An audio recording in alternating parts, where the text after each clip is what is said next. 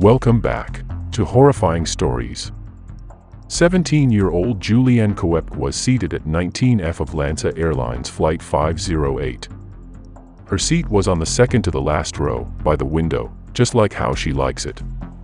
Around 15 minutes before their scheduled landing at Pucallpa, Peru, a strong thunderstorm suddenly ensued, constantly shaking their aircraft. Not long after, she saw an exceedingly bright light flash over the aircraft wing. The next thing she knew, the aircraft was already in a steep and speedy descent nose down into the world's biggest rainforest. This is their horrifying story. Viewer discretion is advised.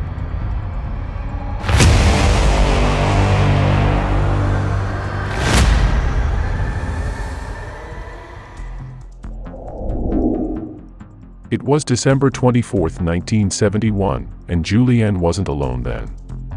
She flew with her mother, Maria Koepcke, as they were about to head home and join her father, Hans Wilhelm Koepcke, for Christmas. Initially, Maria had wanted to fly earlier, but Juliane still had to stay in Lima for a few more days to attend her high school graduation ceremony and their ball. Thus, a last-minute Christmas Eve flight. Adding to the holiday rush, some flights had been cancelled the day prior, so the Lima airport was packed with people that day. LANSA Airlines aircraft for Flight 508 was the Lockheed L-188A Electra turboprop which had a dreaded image.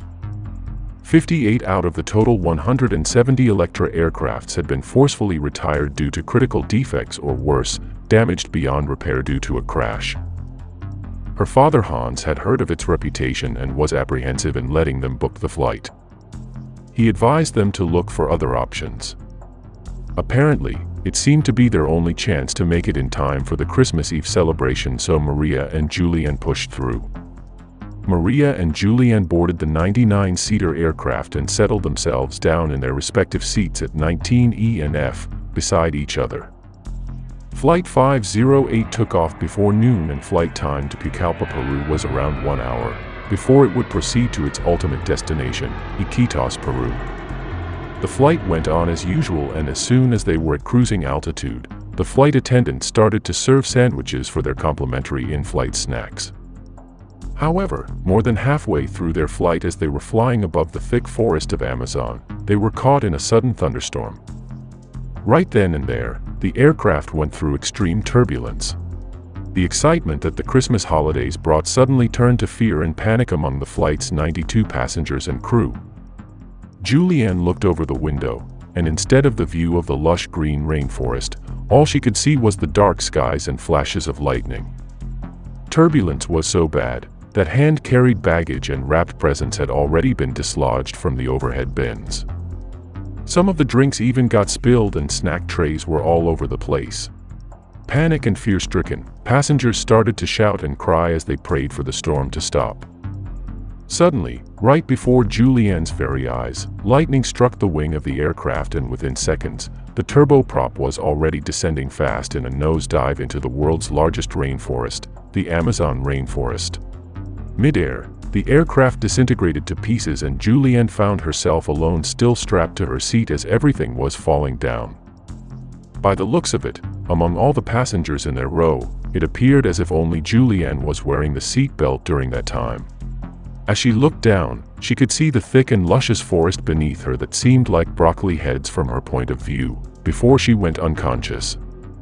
The next thing she knew, she was already flat on the ground soaked in mud, with her glasses nowhere to be found the morning after. She had a concussion, her left eye was swollen, her collarbone broken along with many other injuries. Her sleeveless mini dress had already been torn and obviously dirty. In spite of these, thankfully, more than anything else, she survived the fall. The thick canopies of the forest must have been instrumental in cushioning her fall. Her first instinct was to look for her mother first and foremost, and others who might have also survived. However, she couldn't find anyone else. The only thing she found was a bag of fruit candies. Then, reality sunk in and she felt so alone and abandoned. Surviving the crash was one thing, but it was another thing to make it out alive and seek help, especially in such an extremely dense forest like the Amazon. Nevertheless, Juliane didn't sense even an inch of fear of the jungle, probably only on her quest for rescue but never of the jungle. She knew what she had to do and had the survival skills needed to thrive in the jungle. It was a familiar territory for Juliane. Growing up, she had spent a lot of time in the forest. Her mother, Maria, was an ornithologist, and her father Hans Wilhelm was a zoologist. Both parents were from Germany, they met when they were in college at the University of Kiel. Overwhelmed with passion, they both decided to move to Peru and eventually got married in Peru's capital, Lima. Located somewhere in the vast rainforest was the biological research station, called Panguana Station, which the couple themselves had built to further expand their knowledge of Amazon's ecosystem. The Panguana Station had become this little family's home. At first, Juliane was homeschooled at Panguana for many years but eventually continued her studies at Lima. In the years that she has been mostly away from home, she hasn't forgotten all that she had learned from both parents. She knew the forest like it was on the back of her hand. When she heard the sound of frogs and birds around her, she immediately recognized that her home, the Panguana station, was not far away from where she was. But she also knew that in the vastness of the Amazon forest, it would only take one wrong turn and she would easily go further away, deeper into the thick forest. The following morning, her second day in the jungle, with only one sandal and without any glasses, she went forward and looked for the nearest river. It was something that her parents, most especially her father, had always taught her, to look for water and follow it if she ever gets lost in the jungle. Any small body of water will always lead to a larger body of water, and eventually to civilization, as humans normally tend to settle close to the water source. When she found a small stream, she walked and floated in the middle, recalling what her dad told her that piranhas are only dangerous in shallow waters. Also, it was the rainy season during that time so the weather wasn't particularly helping Juliane. Heavy rains that constantly poured almost all through the day added up to the already challenging conditions. Nothing around her was dry enough to light a fire and it wasn't the season for trees to bear fruit either. She was careful in picking and feeding on anything that she didn't recognize as it might be poisonous. On the fourth day, she heard the frightening sound of vultures. When she followed where the sound was coming from, she came upon a horrifying scene. She saw three passengers still seated and strapped in their row, half of their bodies headfirst, buried to the ground because of the strong impact of their fall. One of them was a woman, so Juliane went closer to check if it was her mother. To her relief, she realized it wasn't, since the woman had her toenails polished which her mom would never have done. The sound of rescue planes reached her, but the thick forest concealed her existence from the rescuers. Thus, she continued on. By the tenth day, she was starved and extremely fatigued, her skin sunburnt by then. Just when she was about to lose all strength left, the sight of a small boat gave her a sudden boost of energy.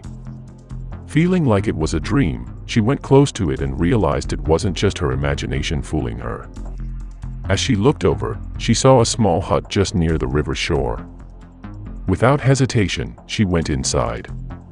There was no one there but she found gasoline inside and used it to clean her wounds that maggots had already started feeding on.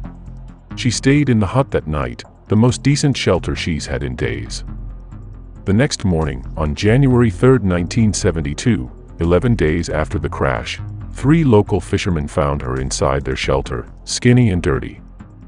When she had awakened, she told them in Spanish who she was and that she was one of those passengers from the LANSA crash. The fishermen immediately took her to the village and in no time, she was airlifted to a hospital in Pucallpa and soon after, got reunited with his father. As soon as she had recovered, she went back and guided the rescue team to where the crash site was, helping them to retrieve the bodies. It was on January 12, 1972 that rescuers found her mother's body.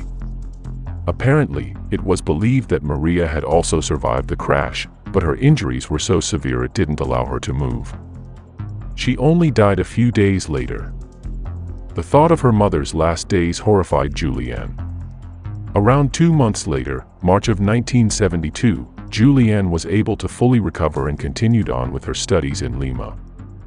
However, Having been the sole survivor of a fatal plane crash, the media often chased her wanting to feature her story. This prompted her father to send her back to her aunt in Kiel, Germany. Taking inspiration from her parents and her own experience, she graduated from the University of Kiel with a bachelor's degree in biology in 1980 and earned her doctorate degree from Ludwig Maximilian University. She went back to Panguana where she spent 18 months conducting extensive research on bats. In 1998, film director Werner Herzog asked her if she was willing to have her story be made into a documentary. Interestingly, Werner happened to be booked for the same flight that fateful day, but his life was spared due to a last-minute change in his itinerary. Upon her agreement, they traveled back to the crash site to film the documentary. As they revisited the site, he interviewed and listened to the horrifying experience of Juliane. To her, the visit back to that dreadful site and Werner's genuine listening skills had become her best therapy. The one-hour documentary was entitled Wings of Hope and was released in 2000. Juliane also authored the book entitled When I Fell from the Sky, How the Jungle Saved My Life, translated into 12 languages, first published in 2011. Juliane also made sure her parents' legacy continued on as well. She was able to expand the Panguana Research Station from 460 to a total of 1,730 acres, and was able to secure the area's permanent protection from the Peruvian government after it was declared as a nature reserve.